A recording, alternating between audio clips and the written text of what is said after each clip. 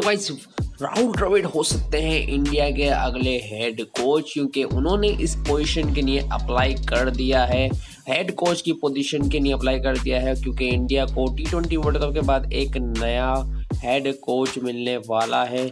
और क्योंकि head coach पहले रवि शास्त्री थे, उन्होंने इस पद को छोड़ दिया है तो अब राहुल द्रविड़ जो हैं, वो इस पोजीशन को हासिल कर सकते हैं। तो अचीवमेंट के बारे में बता दूँ, राहुल द्रविड़ की एज ए कोच के बारे में 2012 में उन्होंने रिटायरमेंट ले लिया था इंटरनेशनल क्रिकेट से, और 2016 से लेकर 2019 तक वो हेड कोच थे इंडिया ए की एंड अंडर 19 टीम के। और उसके बाद 2016 में वो इंडियन नेटो अंडर 19 टीम जो है वो रनर अप रही थी और 2018 में वो अंडर 19 टीम जो है उसने वर्ल्ड कप को जीता था। तो कुछ नए सितारों को वो लेकर आए हैं, जैसे कि पृथ्वी शॉ, ईशन किशन और खलील अहमद जैसे सुपरस्टार्स को वो अंडर 19 टीम में से वो इंडिया की टीम में लेकर आए हैं। ऋषभ पंत को भी वही लेकर आए हैं। तो कुछ बड़े खिलाड़ी जो हैं वो अभी उभरते सितारों को वो जानते हैं कि कौन अच्छा सुपरस्टार बन सकता है आने वाले टाइम में।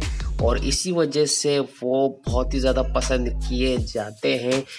कोई बहुत सारे क्रिकेटर्स द्वारा और बहुत सारे इंडियन अपकमिंग सुपरस्टार्स के द्वारा। तो इसी वजह से ज़्यादा लोग यही चाहते हैं कि वो भारत के कोच बने और रवि शास्त्री को रिप्लेस करें।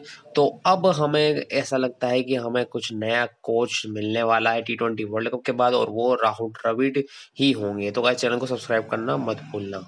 क्योंकि मैं ऐसी वीडियोस न्यूज़ एंड अपडेट्स आपके लाता रहता हूँ। मिलते हैं अगली वीडियो में जो बहुत ज़्यादा आपको इसी चैनल पर देखने को मिलेगी।